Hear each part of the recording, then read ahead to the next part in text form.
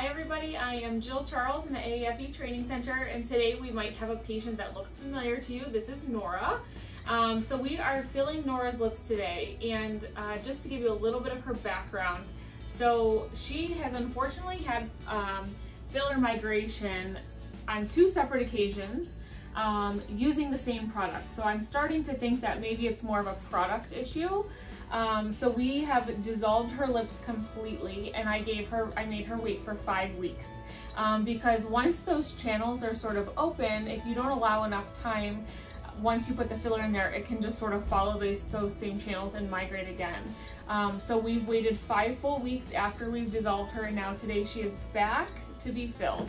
Um, so I'm switching up the products a little bit. I'm using Juvederm Ultra today. I want something with a little more support than what she was previously getting.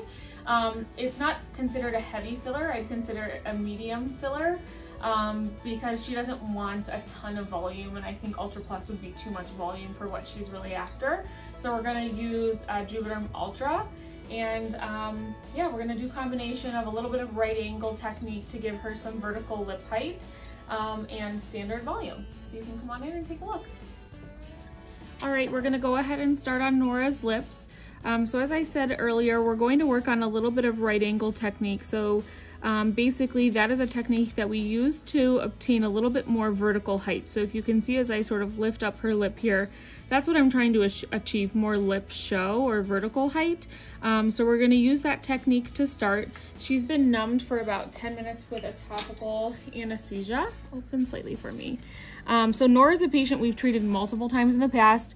She's just a pretty easy bleeder. So don't be surprised if you see lots of bleeding today. We fully expect it for her. Doing okay? Mm -hmm.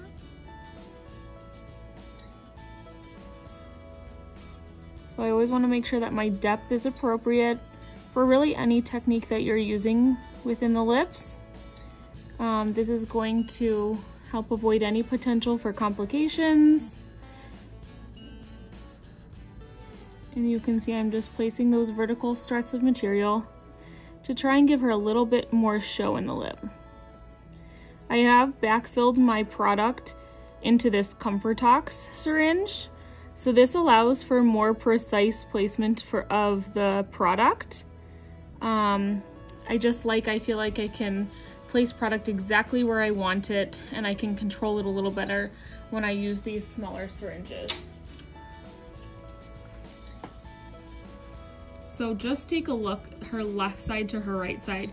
You can already see she has a little bit more height and she has that really nice defined border where in her natural vermilion border is sometimes a little bit difficult to detect. It's not very defined. So that's why I like this technique for her because it helps give us a little more definition.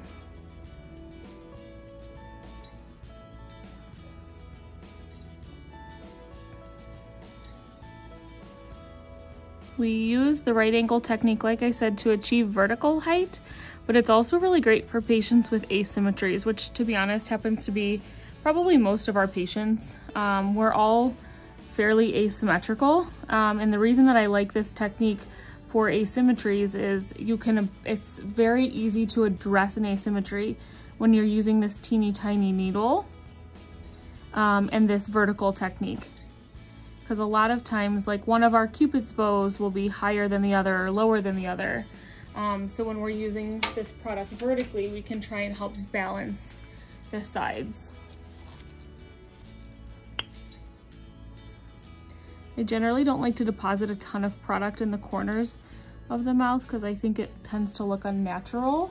So I just put literally the tiniest bit there in the corner, just so that she gets that hydration from the hyaluronic acid, not really for much volume, just so that it'll pull a little bit of water for us.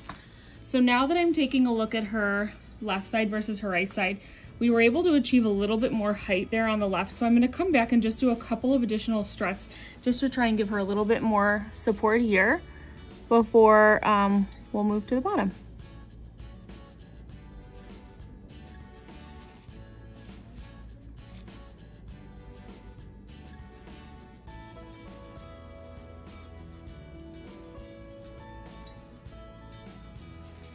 Doing okay, Nora? Mm -hmm. She's always a very good patient. You can see she hasn't flinched. The only time I've really seen her look uncomfortable was when we had to dissolve the filler. That hyaluronidase burns quite a bit. Mm -hmm. So that was pretty uncomfortable for her, as it would be for anybody.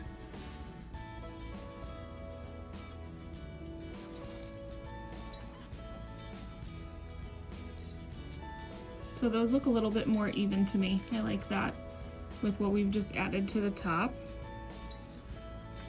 So on the bottom, I think I'm just gonna do some standard volume. She has a really beautiful bottom lip. This is her natural anatomy. You can see she has these really pretty pillows, the tubercles of the lips. And I, I don't wanna change that um, because I think it's really beautiful. All right, now we are going to move to the bottom. Um, we did some right angle technique in the top lip and I think that we achieved some really nice vertical lip height. You can see she has more lip show. So when we look straight onto her, how much lip tissue can we actually see, how much of the pink lip. Um, so we're gonna move to the bottom. And again, I'm just going to sort of accentuate these really pretty pillows that she has naturally there in the lip. Um, and then we might come back and fine tune a little bit on the top, but we'll just sort of start with the bottom here. So I'm using the AAFE uh, V to M technique now. And this is the technique that we like to use to help um, accentu accentuate those sort of pillows that she has in the lips, the lip tubercles. So I'm placing product here.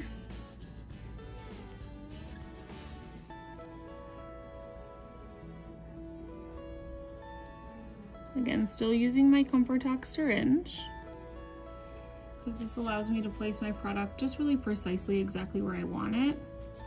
You turn towards me a little bit? Thank you.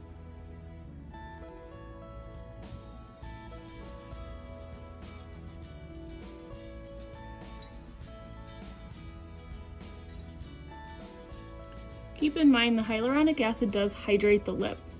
So even if I'm not putting a lot of material in the corner of her lip, I want to at least put some in there so that she gets the hydration that she's gonna have um, elsewhere in the lip as well. So I'm just putting like literally drops of material in the corners of her lips so that way we can get that hydration.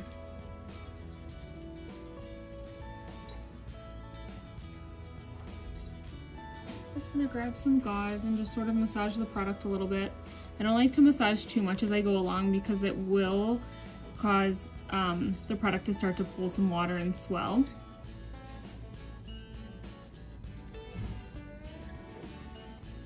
But so far they're coming along, they're looking really pretty. I'm pretty happy with them so far.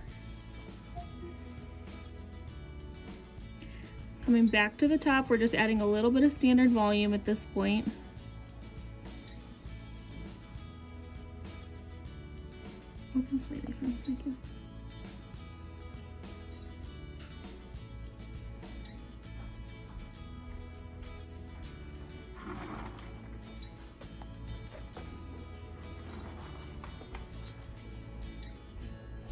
You doing okay? Hmm.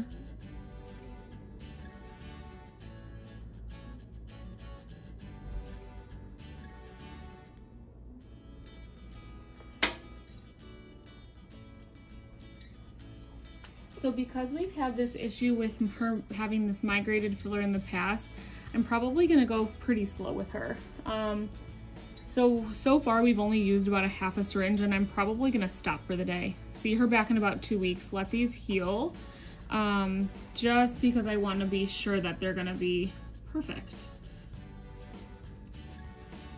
Sometimes filler migration can happen for a, a number of different reasons.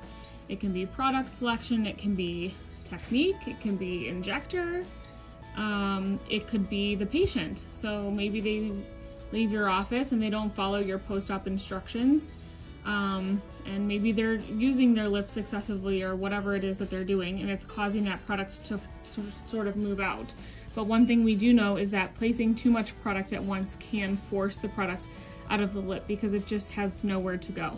Um, so, trying to give you a good look if it would stop bleeding a little bit. But you can see here, I think, like I said, I think we'll sort of call it a day. All right, we have just finished Nora's lip enhancement. Come on in and take a look. I'm really happy with the shape and the amount of volume that we were able to achieve. So you can see now she has a little bit better balance. Um, previously her upper lip was quite deficient um, and we restored some of that balance. Um, and now we are going to see her back in about a week and we'll finish off that top lip. Again, I'm being really, really cautious due to her history of filler migration. Um, I don't wanna put too much in there at once. So um, anyway, thank you for watching and we'll see you soon.